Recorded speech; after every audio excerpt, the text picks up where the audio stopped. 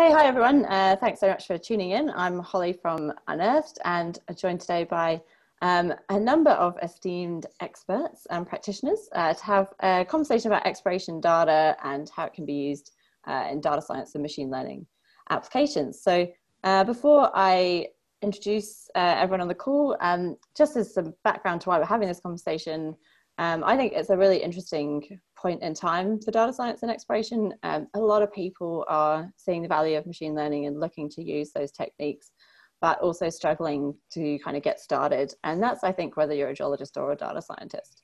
Um, so today we're going to have a look at this kind of problem or question from both sides. Um, and I think it's a really unusual and good opportunity to get a group like this together where everyone has experience in their field and lots of uh, relevant ideas to share. Um, so before I ask everyone to introduce themselves, um, I will say that everyone on this call, apart from myself, uh, are winners of the Explore SA Data Prep Prize. So Explore SA, the Gawler Challenge, is the largest ever government-run open data challenge for exploration. Um, it's being run by the South Australian government currently with a total prize pool of $250,000. It closes on the 31st of July. Um, and the Data Prep Prize was the first phase of this challenge where people were asked to share their workflows, code, um, engineered data sets uh, to show how exploration data could be used uh, in machine learning and analytics. So definitely go and check out all of that information afterwards. Uh, some really great resources there. Um, okay, so without further ado, I will ask everyone to kind of take turns at introducing themselves. Um, Jack, why don't you go first? Yeah, sure. um, yeah, so I'm Jack Maughan. I'm a South Australian geologist based in Victoria at the moment. And uh, yeah, I guess over the last sort of 12 months to 18 months, I've sort of been getting more and more involved in the, uh, the data science side of geology and trying to find applications and yeah, how we can sort of incorporate machine learning and AI into the geosciences. Cool. Who wants to go next? Jump in. Who's next around the round on my screen? Michael. Uh, okay, hey. Uh, so yeah, I'm Michael. Uh, I'm a data scientist based in Melbourne. So I guess I should say I was the winner of last year's Explorer Challenge. Um, and since then, I started Caldera Analytics to kind of continue the work. Um, also looking at how machine learning can be applied to geology. Cool. Uh, Liang, why don't you go for it? Hi, uh, this is uh, Liang and uh, I'm a software engineer and I do have some opportunity to work closely with data scientists. And I, in my spare time, I sometimes join some uh, competition. Like last year, I joined the Melbourne Datathon and we win the first place solution. Yeah, so which pushed me to spend more energy on this data science field. Yep, that's it for me. Cool, awesome. And how about you worked uh, with Yang in a team together? Uh, yes, yeah. Um, I'm a data science based in Melbourne as well. Um, uh, but uh, before I didn't uh, have any experience processing the and uh, the geo the the spatial uh, data sets. So I like the challenge from this kind of uh, complex uh, data sets. Um, I have an, an, an, a good knowledge about the machine learning, but not too much about uh, geologist. So this um, this challenge can bring me to a new world. I hope. Good, cool. And last but not least, Russell and Ahmad. Go. Uh, so, so, hi, I'm Russell, and we're based in Perth. So I'm a geologist by education who worked as a oil and gas explorationist for a few years before moving into data sciences and finally ended up working in the mining industry. So combining geology and data sciences and trying to do something revolutionary in the mining industry. And uh, my name is Ahmad. I was an exploration geologist for a long, long time. Um, I guess I played around in this space for a while, and now Russell and I are kind of trying to do something together. Um, and, and this uh, competition was our first go at it, really. Cool. Everyone's saying they were exploration geologists. Some people do stay doing it, Jack, don't worry. I was a geologist as well, just to just for context. I still, I still, I still am. Uh, okay, cool. So on, I guess on, let's get started. And on that topic of uh, of geologists, uh, as we do have an experience there.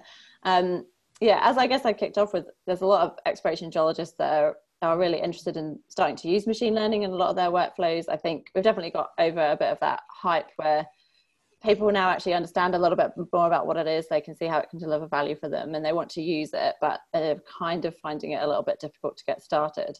So I suppose the question is like, what, what do you think those barriers are? Um, and yeah, ha- what tips would you give someone that wanted to get started? So I guess, Jack, given your experience in that, flick that to you first to Yeah, answer yeah, that one. sure. Um, so I think it's it's probably learning to code or, or yeah, understanding a programming language is the biggest one. You know, you just, sort of show a few lines of code to a geologist and no interest at all, like, um, which I completely understand. And so I think trying to just get past that, you know, how does programming work? How, how can you use it in a, you know, just in day to day geology life, like in a, in a mining field or yeah, exploration setting.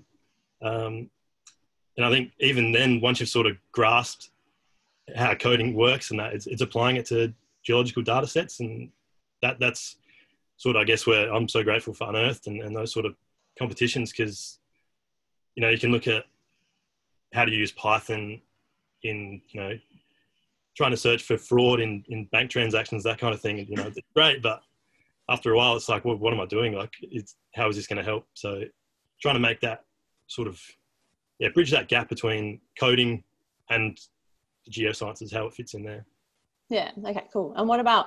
Um, do you think, in terms of people getting getting started on coding, um, do you think people, if they if they get to know a little bit, they can then potentially, I don't know, go and then talk to someone like Michael and say, look, I, I know the basics, but I'd actually rather someone else come and do this for me. Is, are you seeing people kind of do that as well? yeah i think so and like yeah a lot of um even, even yeah ai now and machine learning there's there's heaps of different programs that are made that people can like orange for example is a, is a great one you can just throw data in it and you don't even have to look at code it's just there ready to go Yeah, so that's an interesting one. Do you think that's a bit of the way forward in the future then is that there'll be more of these kind of softwares that are easy for people to use so they don't really need to have too much domain expertise to get their heads around it? i think so yeah yeah i don't, I don't think we're there at the moment but it's getting there yeah Yeah, cool. All right, the other geologists on the call, uh, Russell and Ahmad, what I guess what would your take be on that? Continuing from what Jack mentioned, there are quite a lot of softwares now that take off the machine learning bits. There's even something called AutoML, which is it basically tries like almost hundreds of different machine learning models and tries to give you different results. But then to do all of that again, you need to provide your data in a particular format. So this is where I feel people coming in from other industries uh, have problems with because when you do when you start off in data sciences, you go on Kaggle or you go on to other websites and do tutorials. They always give you your data in a structured format, which is in a CSV table, and show you the way ahead from there. But no one teaches you how to go from your how to build that data set. So that's what I see is the biggest challenge. And then the uh, so I feel the initial competition that Unearthed held was quite helpful in challenging that particular issue, where it showed people how to go from your raw data sets into a machine learning ready data set. Yeah, and I think I mean that's part of the reason why we did it, right? Because we know that people a lot of the time they can't find a tangible kind of instruction or what to actually do. Like, okay, everyone tells me I need to clean my data up for machine learning, but I don't know what that means. So I think that is a good a good a good starting point. I suppose if there's any from your experience, if you for someone that's you know, a pure geologist with, with no experience, like are there tools uh, with no experience in data science, are there tools that people people can just kind of jump on and, and use, or do they need to do a bit of basic onboarding, or should they just go and read your data prep prize submission and then they'll be fine? They can probably read Jack's Medium posts, which are very helpful and funny and interesting. cheers Good. Yeah, I- I- quite a lot, yeah. yeah. And it's like someone asked me, I prob- I always direct them to his posts. Oh. If you want to get into data sciences and, and then new new to machine learning, his posts are very helpful to get people started.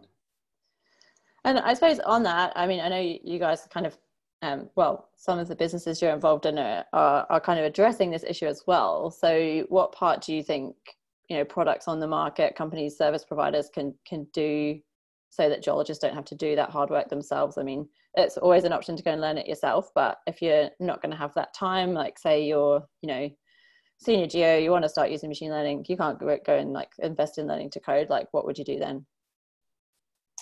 I mean, I, I think the, the the problem around like you know how people are using the data is I think it's because as a community we probably don't have those data sets available. Uh, like you know if you look at survey data sets, you know they're kind of getting into the space where they can make that data sets available. Uh, I think there'll always be a minority of people that will actually have the skills to go through the data. I think that's gonna you know it's not gonna be um, it's not going to be a likely outcome that the whole industry will become better at handling the data. I don't think that's going to be the case. So it will be kind of, I think, imperative on you know people that provide these data sets to actually solve the problem.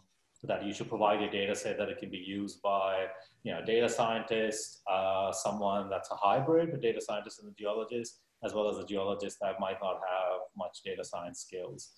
Um, and I think that, you know, like the work that you guys do and is, um, you know, I guess that level of awareness that's um, coming into surveys, I think it's increasing that, that people actually have to start uh, providing the data sets in a different way.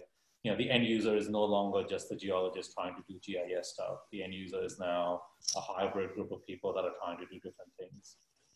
Yeah, and we definitely saw, yeah, that the, the data prep prize phase, like the the survey in South Australia were really stoked with a lot of the outcomes because they could see how they could apply them straight away to make their data more accessible. So, yeah, lots of benefits for individuals doing it, but I think for the survey to see actually, oh, this is how people want to use our data now in a different way is really helpful. And I think it's just a question of like, you know, like surveys have limited resources. So, yeah, the, the harder thing is to figure out what you need to do uh, you know, like survey can't go and do all the 50 things that are required. So there's a little bit of like market kind of dynamics that, you know, we as a community or through these competitions or whatever the mechanism is, you know, like I think you guys are doing a good job as, as Unearthed creating the mechanism so it raises awareness of what data sets people want. Uh, but as a survey, you know, they need to figure out what they need to put their resources on.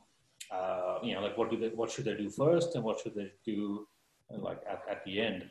Um, so I, I, think once they start figuring that out, you know, they will do it. It's just a matter of that information doesn't quite exist right now. Yeah, and it's a lot of work. Yeah, yeah, and like you know, like surveys run, you know, like a lot of surveys run with the smell of an oily rag. You know, like in Australia, we we're quite uh, fortunate that our surveys are that well funded, but you know, in other places, you know, like there would be one tenth the funding available for a lot of surveys that we have there. Yeah, yeah, totally. Um, yeah, I suppose um yeah, on the kind of continuing on that, uh it sounds like for geologists then the tip would be maybe learn a basic bit of code, at least maybe learn how to frame a question in language that a, a data scientist might understand so they can kind of use your use your data. Um, Ahmad, are you seeing anything? I mean, you talk to a lot of obviously really interesting people in your and and some of the stuff you do. Um, I guess from that, yeah, more senior level, are you seeing any trends in how people are trying to changing how they're using machine learning in exploration? Yeah, I think, uh, you know, I, I, mean, I guess you kind of mentioned it at the start that I think a lot of people want to use machine learning, you know, but they're not quite sure like how to frame the, the question or what skills they, they kind of need. Um, and I think it's just the, the lack of kind of a common language, you know, like as geologists or as practitioners in geosciences, we don't quite understand the data science world. And, and data scientists, I don't think quite understand our language. So there has to be, I think, some evolutionary step in the middle that allows people to understand, you know, each other. And to go back to this point about like, you know, what should you do? I think, like in my opinion, I think the one thing you need to kind of figure out if you want to play in this space is, uh, like, you know, do you want to learn how to drive or do you just want to get to a different spot? and that's I think a really key kind of metric you need to figure out. You know, like you need to find out who's the Uber. Yeah, that's right. Like you know, like you know, I think you should be really clear about what do you want to do. Like you know, like do you just want to get from point A to point B? Well, there's many ways to get there. You know, like Russell mentioned, AutoML. You know, you can learn coding. You can do many different things if you want to do. Uh, or do you want to actually build a skill set? And I think that's so. Like from to answer your question about what happens in kind of the senior level, I think people aren't quite sure as organizations, what do they want to have? Do they want to have a lot of people that know how to drive, or do they just want to have a lot of people that get them to a different spot? Yeah. And I think that's the challenge that you have to figure out. So last little question for the geos. I think the other interesting thing that we're seeing is at the moment is as people are getting more used to learn using machine learning, they're trying to want to deploy models and call on them regularly, uh, which poses a new challenge in itself. Um, are you guys seeing that the same thing about, especially when people are kind of doing, I guess, near miss style projects and things like that, where they're using somewhat near real time drilling data? Maybe not. I haven't had Something about deployment, but what related to deployment? So, like, if you were um, wanting to use some predictions uh, on a local scale, so use your kind of real-time drilling data to inform what you might be seeing, um, what you might predict downhole in the next meter coming, something like that. So you're, I guess, using um, those models in not for like a one-off static prediction, but ongoing. So I guess it's more a question. It's more an observation that we're seeing that people in the exploration uh, space are now looking at. Talking about, I can't visualize it in the mining space because they don't use a lot of downhole drilling. Or, or, or, they don't, or to like within oil and gas, there's a common tool called quad combo where you have like five logs that are continuously produced. And based on that, you can create a model that can predict probably lithology or, or organic content or something similar. But whereas in mining, I think it's one tool at a time. Yeah, so like, I mean, I think, I guess in mining, uh, I mean, I don't know if I want to throw Michael under the bus, but yeah, isn't the part of the whole, like the second stage of the Explorer Challenge was that they wanted to do real time uh, kind of targeting out of it. So maybe Michael Yep. can talk about it. Yeah, um, I think deployment in the like the data science context, like there's probably very very few um, applications of machine learning and exploration that you really need a deployed model that's that's going to like work. Like if it sits there for like two years, like I think when it comes to exploration, as soon as you like shift maybe uh, like to a different state, um, like everything changes. And with like the real-time drilling stuff everything's still in the r&d phase i think like there's no kind of there's no base like no one's reached a consistent baseline with applying machine learning algorithms where they can then deploy it and trust it i think uh, to maybe you know in banking or commerce where you're deploying recommendation systems and they can be trusted. I don't think machine learning is is at that stage uh, when it comes to mineral exploration. Yeah, no, I think that's. Yeah, the geology is so variable everywhere that you can't Yeah. create one model that's Hundred percent. across everywhere. And again, so that's just one problem. And then there's the tool calibration. each operator, each operator's tool response would be different. There are too many variables within geology to actually do something real time. At least with the current level of technology. Who knows what the future holds? All right. Well, maybe we'll maybe we'll pivot and look at it from the, the data science point of view. I know when I first started uh, looking into machine learning, I thought exploration was a great uh, great area for machine learning to be applied to, and most data scientists I talked to just laughed in my face because our data is really horrible. um, so I guess that that's that kind of goes on to the next question of um, you know um, for data scientists like you know particularly like Yang and like you guys are new to this to this industry um, and and the data is not necessarily really accessible. Um, yeah, I, keen to hear. I guess the question is for people looking to get started from a data science point of view. What what tips would you give people to kind of get started on exploration data?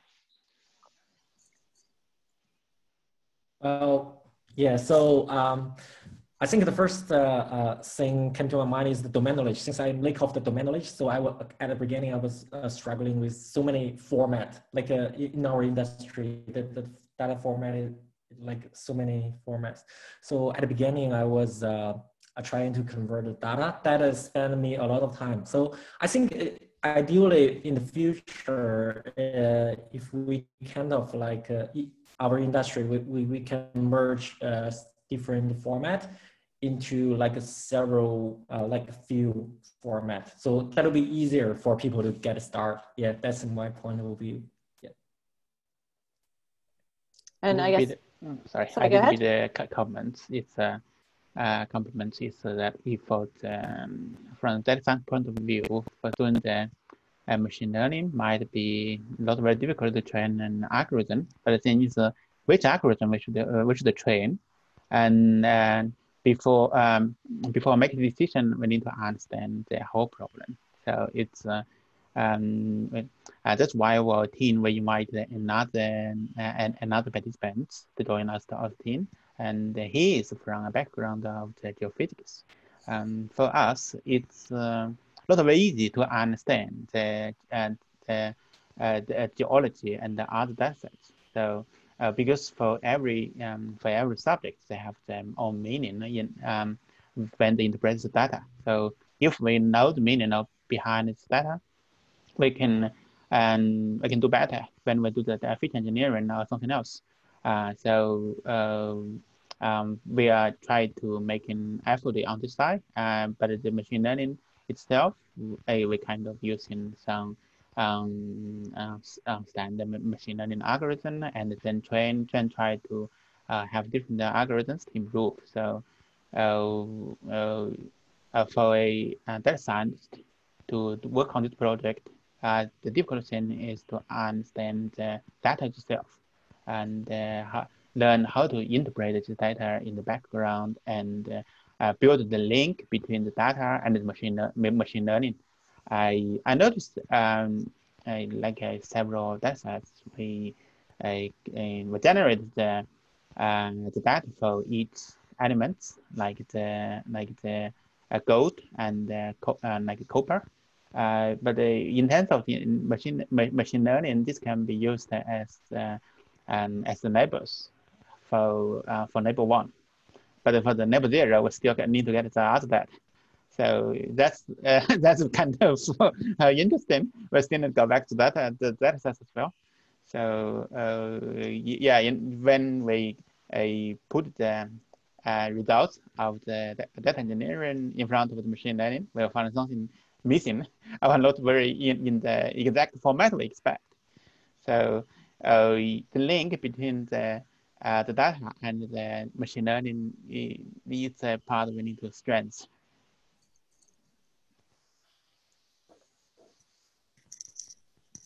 Yeah, I guess Michael, do you have any thoughts on that? I guess given your journey you went on with the Explorer Challenge. Yeah, I mean, I probably sound like a broken record now uh, because everyone's mentioned domain experience, but it's just like it is so so true.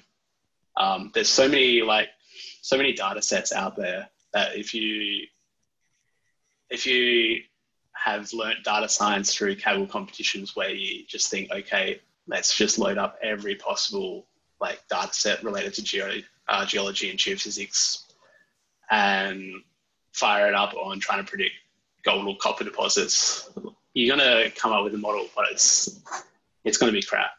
Um, and the problem is like you need to make so many assumptions to convert all this data into uh, input that's required for machine learning. And if you don't have the right domain expertise or know someone with the domain expertise, you're going to make some pretty dodgy assumptions that is probably just going to torpedo the, the output of the model.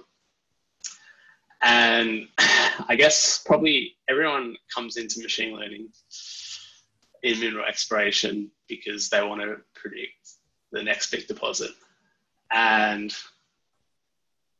like that is a really, really, really hard challenge because machine learning just kind of follows uh, like the complexity of of the process um, outside of machine learning. So to clarify that, it's really hard for geos to try and like predict the major deposits. So naturally, machine learning isn't going to come in and be like, you know, a thousand times better. So, like, a lot of people, a lot of data scientists will come in and try and uh, predict, like, try and predict gold, gold deposits or copper deposits, but it's probably best like if you're interested in mineral exploration to probably pick something that isn't as challenging as that because that just requires like you need to know geophysics, you need to know geology, you need to know yeah, you need to spend ages trying to clean those data sets to get enough data to be able to get a good algorithm. So yeah, probably pick something less complex than prospectivity. But when people think data science and machine learning in, in exploration, that is 100% what people think. And yeah, and when it doesn't work, people will be like, oh yeah, data science hasn't used in mineral exploration. But if if machine learning is like improving the rates of success from like one in 1,000 to one in 500, that's massive. But it's very hard to quantify that.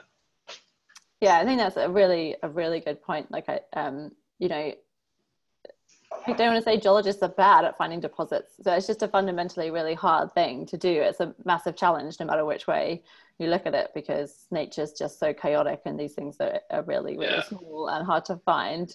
Um, but like I say, if you can improve the process, even from yeah, from you know being 0.1% success rate to yeah 0.5% success rate, that's a that's a massive improvement. But it's very very hard to quantify that we've seen people make some attempts and some claims.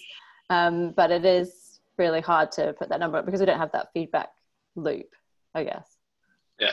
I mean i just said it's really hard but in the end like data science and machine learning i've kind of just gone on for a rant here but it kind of it has to work because if machine learning and data science and mineral exploration doesn't work, then that implies that geology is random. And there's a bit of shots fired there, but you know, it's got to work. It's just stats. Well, I guess there's some, there is some, I, I'm sorry, I'm going off a bit of a tangent here, but I think this is interesting because I think there's some, it's almost like a scale thing. Like I feel like there's some order at regional scales, but there's certainly a chaotic nature to mineral deposits that we that that are are not ordered so without maybe saying they're completely random there's definitely chaos there and i think it's a good argument to say is it reasonable to be able to predict something on on that real local scale at all when we don't understand you know like we understand ore deposit systems but we can't then explain and pick apart exactly where something will form and be and, and occur but I guess this is kind of you could go down a philosophical route here pretty easily. yeah, I guess yeah. If I can say anything to like data scientists, like really uh, speak to a geo or get a textbook, and it will help a lot. but it is a really interesting problem, though. I think it's it's a big problem for our industry, right? Like discovery rates are low. Like it's it's hard, but it's a problem worth looking into. I hope. Oh yeah, it is. Anyone else have comments on that, the data science side? I guess coming from the, the, the geo side and branching into like the data science, it's every day I'm sort of thinking more like more and more how chaotic our geology data is, and you know, trying to get into a usable form is is a huge challenge. Like, yeah, I always hear like I see online, you know, data scientists saying, oh, the reality is it's like 90% data cleaning, 10% running algorithms. But I think data science in mineral exploration is like 99.99% yeah. data cleaning. It's just, it's just insane. I've spent so long like reading PDFs or exploration reports, correcting stuff. And it's, just, yeah, it's, it's amazing you're still doing it. it will never end. interesting uh, when I try to invite the, and like the people from the ge- uh, ge- geology background to join us. And, uh, and then when I talk about the data set, they say, okay, well, I did the PhD in the research, but uh, our data set is cleaned. So, uh, but uh, your data set, we can't help. That's a good reason to, to refuse me. So, like most people have mentioned, like uh, Michael mentioned, it's 99% data cleaning, and that takes a lot of time. So, what we've actually focused on is automating that bit, and we feel we are getting pretty close to reducing. Even though it's 99% of the work, it wouldn't by automating it, you're not spending 99% of your time on that, rather like 20 or 30%. Yeah, I think if you guys could do that, man. too much of details, yeah, but you'll see stuff slowly. Uh, bit of a teaser there. But I think like, you know, like a lot of the stuff that people are talking about, I think kind of goes to the fundamental point that, you know, like for machine learning to work really well, our data has to be in a kind of a, a structured or some format which allows it to be digested and, you know, like utilized in a manner. Um, you know, like as Michael has said, like, you know, other people have said as well, like, you know, like our data sets are you know, like at best described as a shotgun pattern right now. So it's again, it's kind of all over the place and how you use them, what you use, you know, what format you use them. I think that's the challenging part about trying to uh, you know, incorporate more of the data science world into geology right now. So mm. we don't really, I think, have the maturity of kind of data structures right now to uh, to to realistically probably use uh, machine learning and you know, kind of these techniques to their full uh, full capacity right now. Yeah, and I think I think what's interesting though, um, like we're kind of all commenting on, like everyone when they think about machine learning and exploration, they t- think about targeting and prospectivity, but that's probably like the hardest place to start. Whereas I think if you think about your whole exploration workflow and think about, oh, what could I actually potentially just you know automate or optimize without having to, you know, you can you can be incredibly uh, like improve your efficiency incredibly by automating things like data capture, um, data validation, even reporting. Like, I was like, my first thing would be like, I don't know how many of you guys have worked as industry geologists, but if you could, you know, just automate reporting, that would save people like half their time. Um, so there's all these things that you can use data science, machine learning for. I think to kind of be more more have a more data driven workflow before you kind of take out that silver bullet at the end. Michael, was it in your um, uh, yeah entry that had the the sort of unsupervised learning towards the bottom of it when it came to the cleaning the geochem? No, no, no, no. I yeah, my my process is like very methodical. I guess I don't. Yeah, I don't trust unsupervised learning to clean our data yet. okay. fair enough. Because yeah, I think I think I saw it down the bottom there, and that that's yeah, that could be a, a way forward, I suppose. Oh, that's like if there's been huge advances advances in like you know, NLP in the last two years, like so much that I'm just like so far behind on it. But like applying those those big advances to so much of that unstructured text data to either clean or, as Holly said, automate reporting, uh, or like lithology. I'm sure there's something there. Like yeah, that's massive. And I think this is, I mean, I guess a point that, yeah, like, like Holly and a couple of people have made is, uh, you know, we, we've started using machine learning, I think, to solve the biggest problem. And I, I think it's fair to say that, you know, it's going to be very low probability that machine learning is going to be the panacea that we need to solve like finding deposits, right? But now as we kind of go through that change, maybe we'll find better uses for it which which solves a lot of the other problems that we have, which will ultimately kind of lead to a deriv- like a derivative uh, outcome where we get better at finding mineral deposits. So I think you know I think we've kind of accepted that maybe it's not going to be the you know just take data sets, throw it in, and it'll tell you X marks a spot and go find a deposit. I, I doubt that's. You know, I think we would be pretty comfortable saying that we've kind of crossed that bridge. Now it's more about where can we use it most effectively. We always stress that use machine learning to improve each workflow and dataset and ultimately use your geology experience and domain knowledge to know where to go to drill.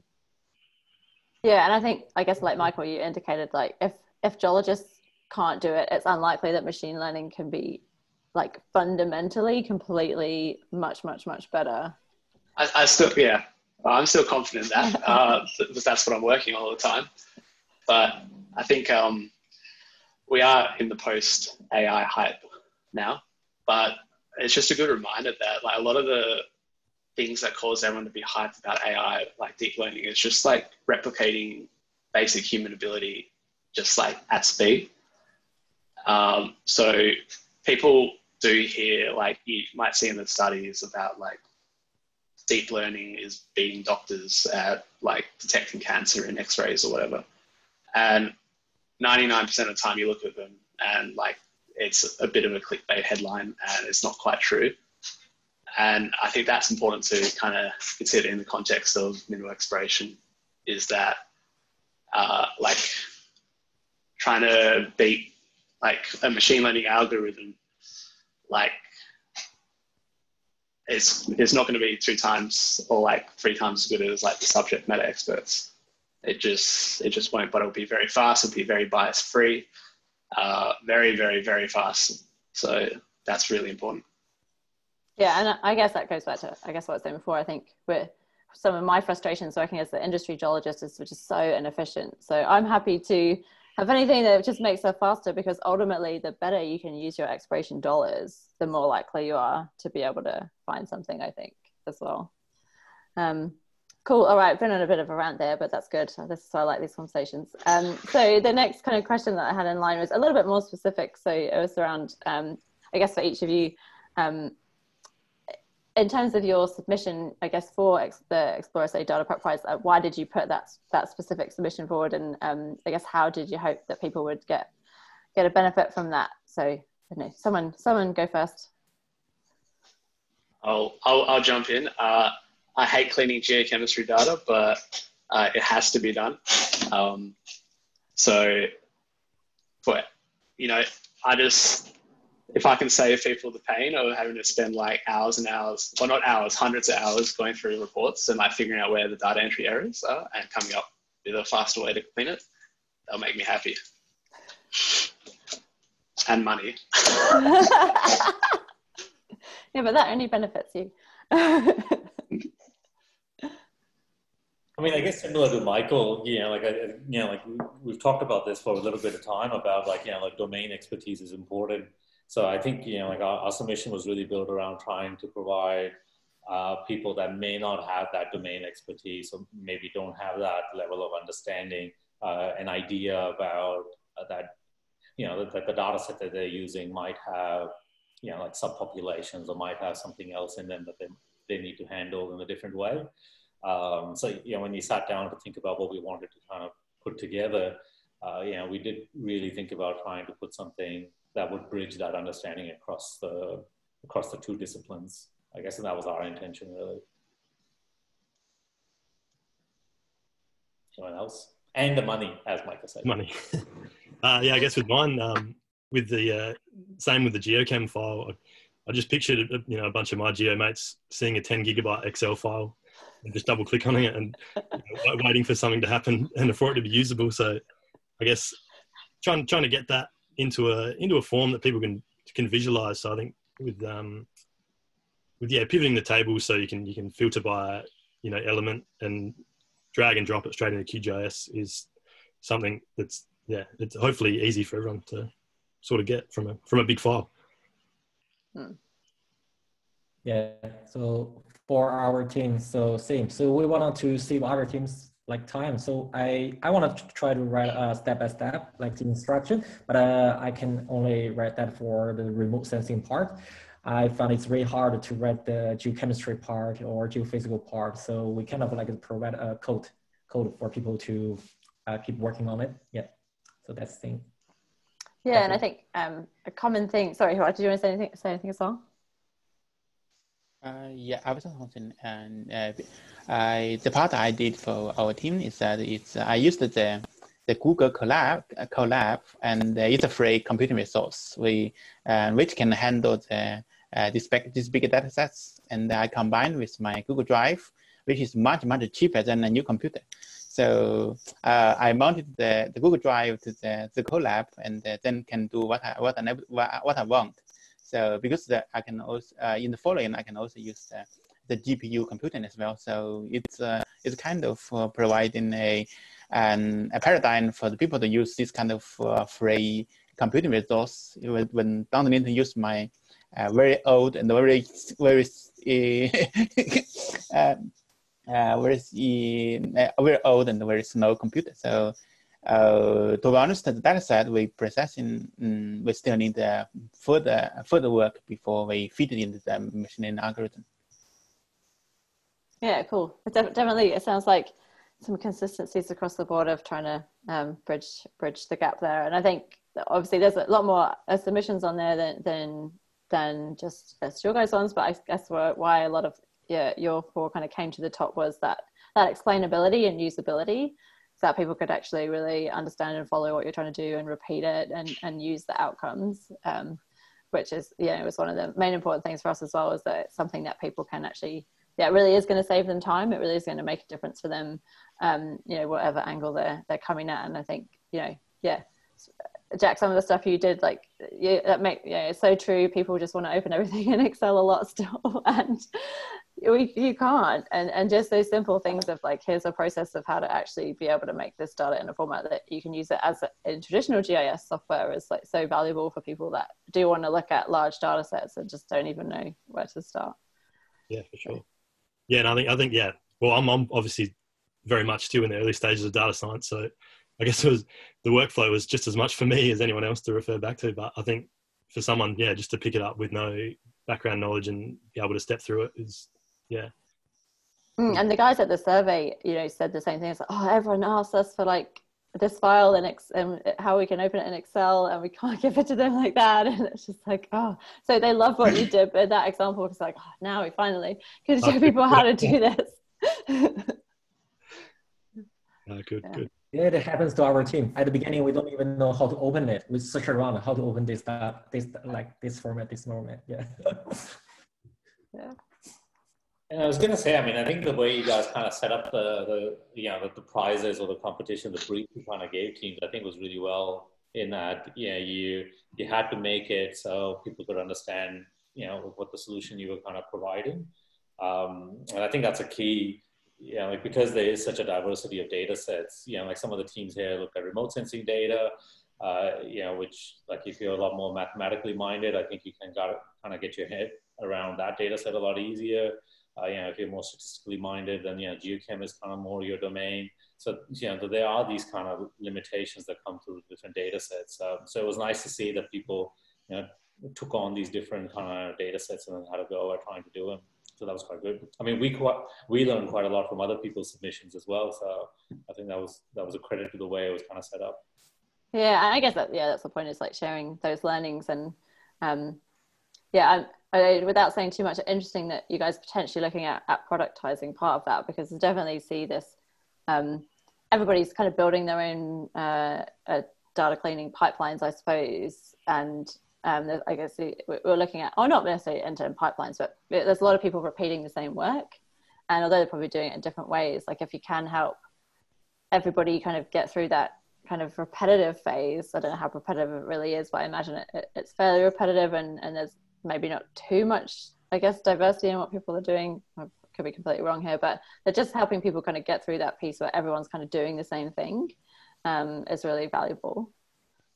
Kind of, it's kind of similar to like this is what should happen with like the actual data in in geology because I feel like so much of these like data quality issues that affect us all and everyone has to fix when doing data science like everyone's already fixing these errors like in-house in companies, but then those like the data cleaning is not shared. So everyone is constantly repeating the same like data cleaning and the data sets just stay like messy.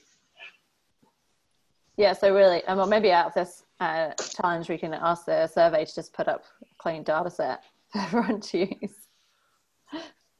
I mean, I think that's the challenge with like surveys. You know, like to them, uh, yeah, they yeah they're kind of in a world where they are more about appending data to whatever they already have set up. Yeah, so to them, you know, when they find when they originally set up the system was probably yeah at least a decade ago. So yeah. so the data set has relevance to you know a decade ago, not not necessarily now.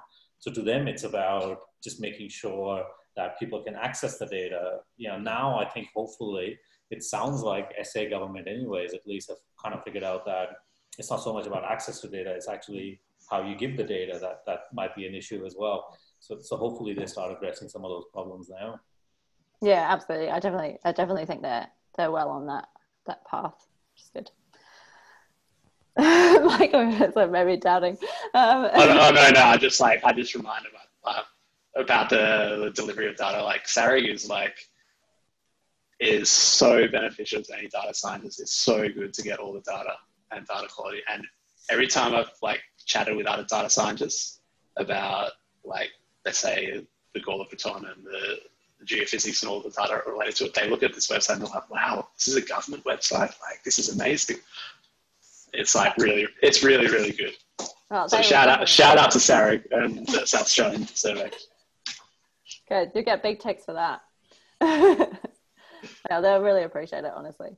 Um, okay, cool. So we've got a few minutes left. So I just wanted to round out, I guess, by um, giving each of you an opportunity to, um, yeah, uh, say anything else you'd like to share, do a gratuitous pitch of your business, whatever you guys um, want to kind of talk about as a as a leaving comment or any future gazing of what might happen. It's completely up to you. Um, Jack, do you want to go first? Yeah, well, I guess just yeah, thanks to you, Holly, and the the yeah everyone at Unearthed for like for someone that's trying to you know break into that data science world. What you guys are doing is you know unreal. You know, Uh, like even things like this, getting getting ideas from from other people, and and but yeah, mainly getting hands on on data and being able to do stuff with it is you know it can can be quite difficult. So it's good. No, thank you. Oh, thanks. I wasn't setting that up so you guys could all just say nice things about, about us, by the way. Next. Michael, go. Uh, shouldn't have made that funny face. yeah. Um, what do you want to say? Uh, Your future vision. Yeah, future vision. Uh, all your geos are replaced by data scientists. Um, never going to happen. Um, yeah, I'm going to be pretty cagey because uh, I've got a few ideas for the uh, Explorer, uh, Explorer Challenge. Well, a few ideas. They're already in progress. But um, I guess, hey, any any exploration companies out there that are cynical for cynical towards machine learning but are curious, like reach out to me because uh, I'm also cynical, but also doing a business about it. And that's probably maybe you can say that Holly is that um, probably part of the my submission last year as to why it, why it won was uh, taking a really realistic approach and not thinking, hey, I'm going to pay me fifty thousand dollars, I'm going to predict your next gold deposit. So, any companies out there that are curious, yeah, reach out to me. Cool. Yeah, yeah, I can agree. Definitely. Um, yeah, you you explained very, very well all the kind of steps that you were taking, and um, it was really easy for people to understand. But at the same time, it was a really good, um, I guess, scientific approach. So those slides covered. Good job. Interested to so see see the, the end of this one as well. I'm, I'm, yes, I'm gonna, yeah. Wait and see. Wait and see. I'll go next.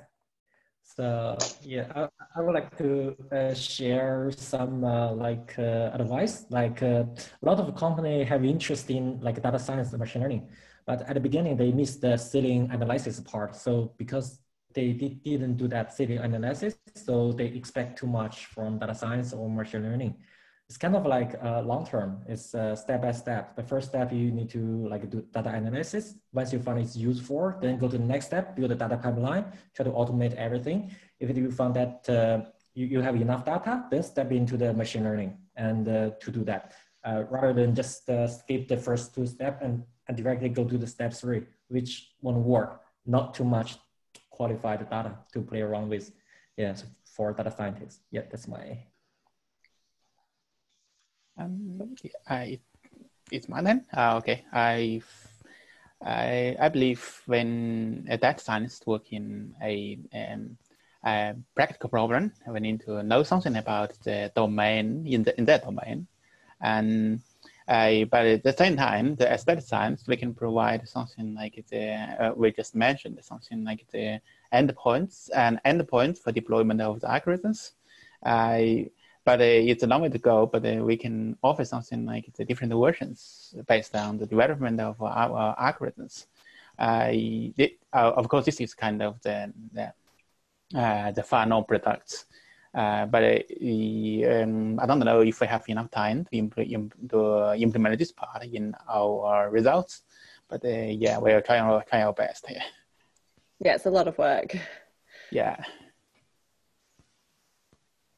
Do you want to say something? I feel like I've said too much. Yeah. So, so most companies, again, most uh, most companies out there are actually focusing on the algorithms and what they can do with the data. But I know when you go to companies and to actually implement a machine learning solution, you need to get like companies don't have existing data sets, and the reason they don't go into it is because it's going to take a long time to actually build that sort of input data for your model. So we tell companies you don't care what algorithms you use. There are many you can try, but we can help you automate automate workflows to help create your database like 10 to 20 times or even 60 times faster compared to doing it manually. And so, so we want to take the solve the problem of getting data out of say Excel files, ASCII files, even PDF files using advanced NLP techniques and extracting bits of pieces that the geoscientist wants, putting it into databases, and then helping you create your machine learning ready data set. Cool. So should people reach out to you now or is it watch this space, follow you on LinkedIn and no, Twitter or whatever platform you're on? Is every because every situation is so different. You can't create one general thing for everyone because each person has unique needs out of what they want from the data. So based on that, every solution is customized. But again, there are general purpose things that you'll see eventually. Yeah. I mean, Ahmad can say a little bit more. he's better at speaking. You know. Um, no, no, I mean, I guess, you know, like our whole uh, model, you know, like I, I, don't think there's a shortage of people that know what machine learning algorithms to use. I think that's like, you know, well and truly kind of understood. I guess what we're trying to figure out is how do you handle uh, the kind of the, the data side, like within companies, within organizations, or even individuals, like how do we handle that better so you can kind of maximize the value out of that that data set. Yeah, oh, I, I don't think it's a like an unknown entity that most people in uh, geoscientific organizations aren't data people. So, you know, we weren't very good at kind of cataloging our data. We're not very good at storing it. You know, we're not very good at extracting things out of it, or we kind of only do it in kind of a niche way. Um, so, so yeah, so our kind of what we think the benefit that we can provide is that we just allow you to maximize as much as you can the data that you have. Um, so yeah, so and I think if you want to go down the path of kind of building uh, machine learning as part of your organization, then I think you probably need to address the data side as well at some point. Yeah, and if Unearthed want to organize their next hackathon, we might have the data set for you. not doing hackathons anymore. Online challenges. but that sounds interesting. Uh, do you mean getting people to? Never mind. We'll touch base another, another time. But uh, I like good way to good way to round it out, out the conversation. So, um, yeah, look, thank like honestly that I, I really love these things. It's really in, enjoyable for me. I'm not sure everyone that listens to this afterwards will get a lot out of this conversation as well. So, um, really appreciate everyone's time. Of course, anyone that's listening to this online, um, you can check out all of uh, these these guys' wonderful work on Explore SA challenge page, which I'll put a link to in the description below. Um, and of course, yeah, well, we've got a month and a half left of uh, Explore SA challenge. So, um, yeah, um, be excited to share the results, which will be out in the middle of September. Um, and any and final and uh, and any final comments? Oh, we're good. Uh, Awesome. Well, thanks everyone. Oh, sorry, go for it, Russell. Oh yeah, good luck. Yeah. Definitely good luck. Cheers good luck. You don't need us, but good luck. Yeah, cheers. I only, I only have water. Um, but yeah, I, okay, great. I will stop that recording now.